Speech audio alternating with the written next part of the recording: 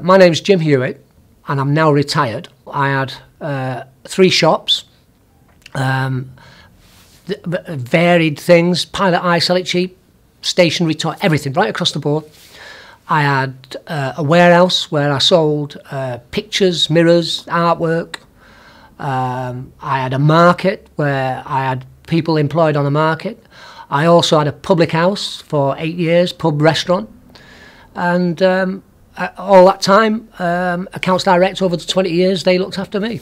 The one thing I wasn't good at was accounts, but I was a good retailer. So I needed security that somebody was running my accounts. And they did the complete package. They did uh, business, uh, personal tax, income tax, everything. The complete package.